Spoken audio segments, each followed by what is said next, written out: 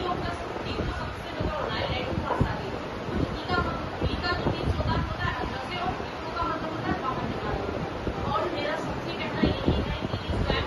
एक अच्छा श्रेष्ठ शिक्षक होता है वो अपने घर तथ्य के प्रति स्वयं सत्य अगर अपने घर कभी प्रति हमेशा सत्य रहेगी तो वो अपने